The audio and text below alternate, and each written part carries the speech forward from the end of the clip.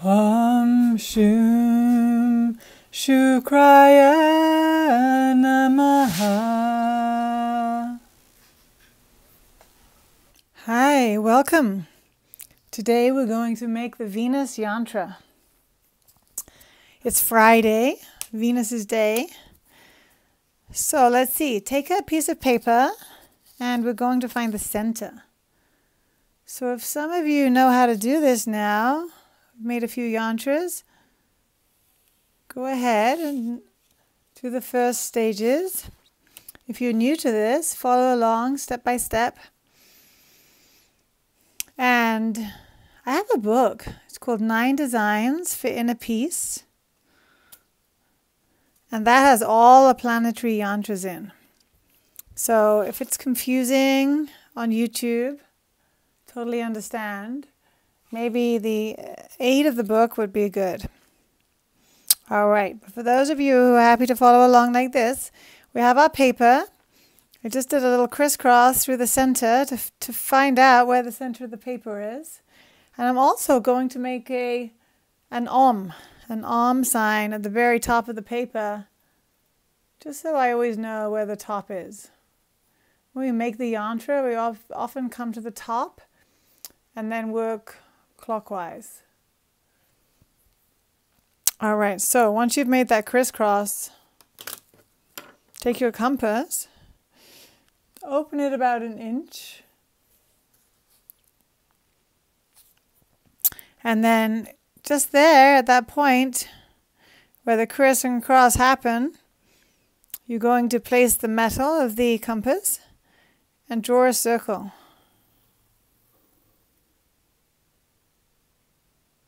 This is a guiding circle. Once you have your circle, go ahead and erase the original crisscross lines. Sitting by a window here. Hope there's not too many shadows for you. All right. Okay, once you have your circle and you can still see the hole left over from the compass, take your ruler again and Make a line down through your paper. Now I have this interesting paper here today. Has this deckled feathered edges, see? Maybe with the feathered edges it's a little harder to line up this ruler. However, give it a go. If you have a straight edge, I think it's going to be easier for you. Sometimes I actually just see, is my pencil actually going to go through that hole? Draw that straight line. Then, you know, I'm going to make sure I can really feel that compass hole. It's very important. Okay.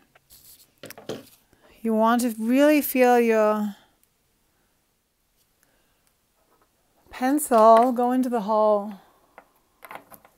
Then you know your lines are going through the center. See, everything about a yantra is to do with the center. It's either going through the center, towards the center, away from the center. So we might as well get the center in the center, okay? So there's the,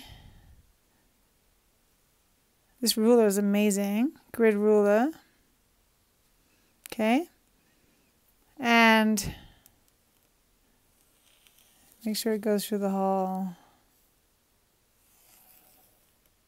So now you have these two guidelines. So these are called the vertical and horizontal guidelines. Once you have those, take your compass again and place the metal on one spot.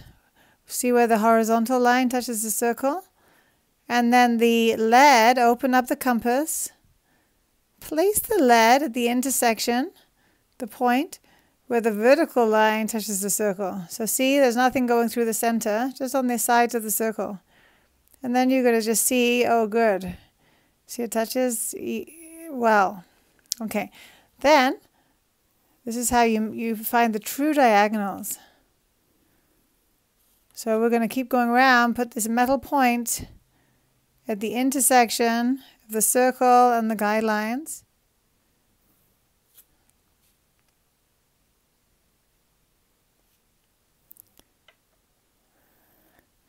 So we'll do the mantra again at the end, but let's do it now. Om Shum Shukraya Namaha Om Shum Shukraya Namaha Om Shum Shukraya Namaha. So Shukra is another name for Venus. All right, so now I have those crisscrosses. I have this fabulous center. I'm drawing a straight line through. So I'll do that both ways. So both diagonal lines. It's worth getting this good. Like I said, everything is about the center, especially in the Venus Yantra with its intricate center design.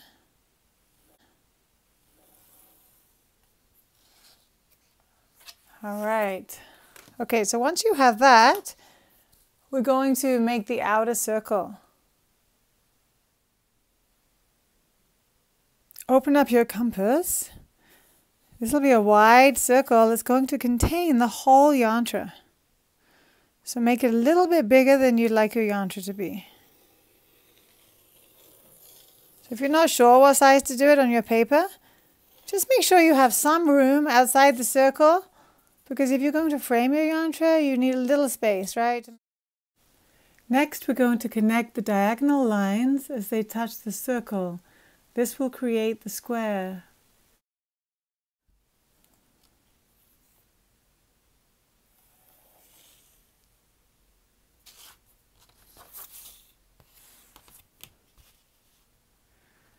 So again, this is pretty important to get straight. Okay. So I look like I'm taking my time because I really do want it to be parallel to the center.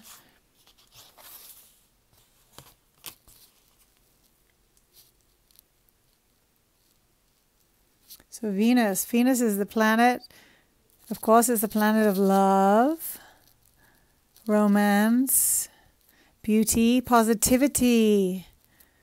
Who doesn't need more of these qualities in their life, huh?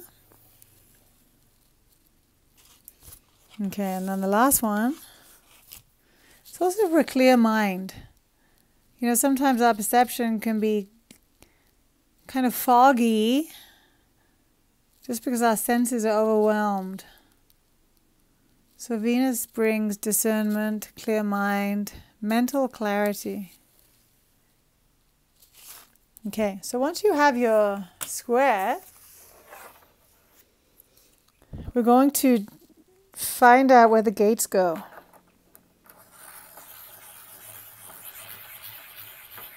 It's a lot of pencil sharpening happening here and keep my point point pointed on my pencil.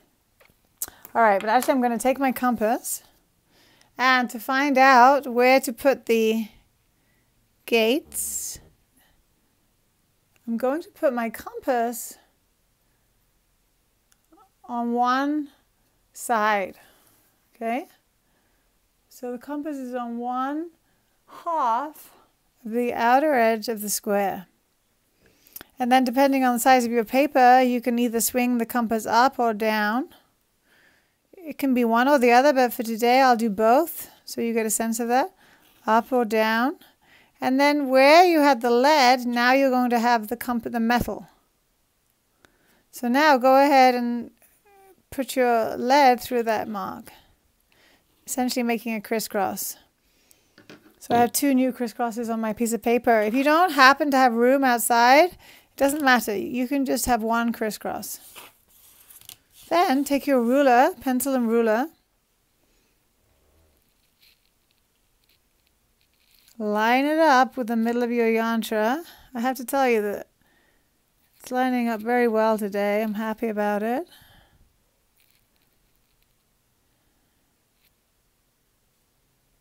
Like I said, for this yantra, it does seem to make a difference, you know? Okay, and then I've gone through the crisscrosses and I'm drawing a line from the edge of the square to the edge of the circle. So one short line. Once I've done that once, I can repeat the step with a little shortcut. So what I'm going to do is take my compass, close the compass down, put the metal at the center, put the lead on the side. Okay, so Hoping you can see that. So now I have that fixed width.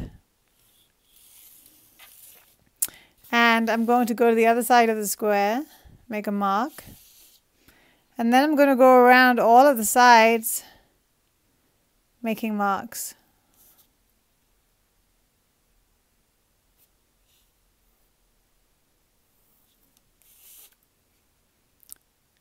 Om Shum Shukraya Namaha.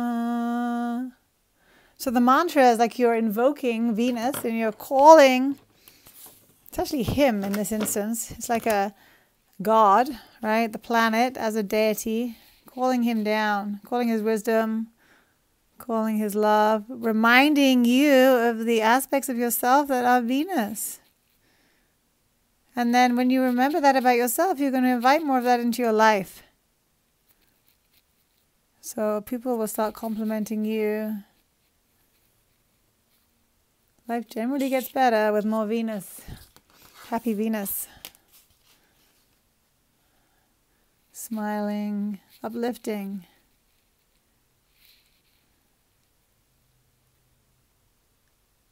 Okay, so I made the marks and now I'm drawing these short lines from the edge of the square to the edge of the circle.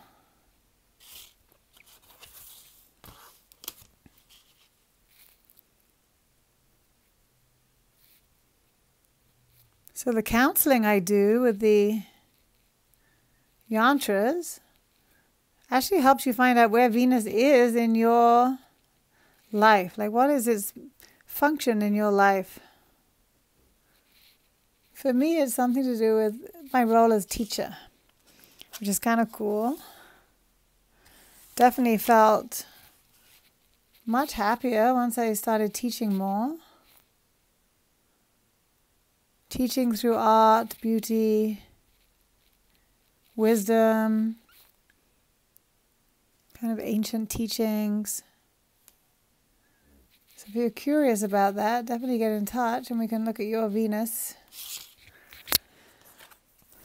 All right, so once you have these shapes, we're going to add the top. So we're going to, it's kind of like crossing the T's. The very outer portion where those lines touch the circle. And actually what I'm most interested in is keeping it parallel to the center of the yantra. So I'm going to go around. And again, I'm taking my time. I don't want to rush. I don't want to have the whole thing wonky, especially for this yantra.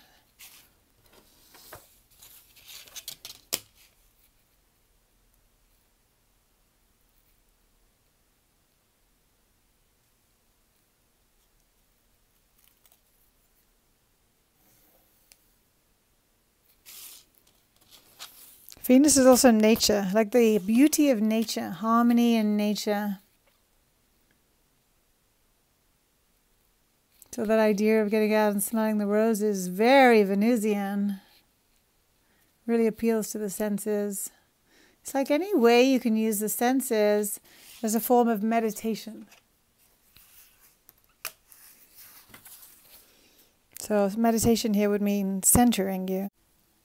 This is continued in part two.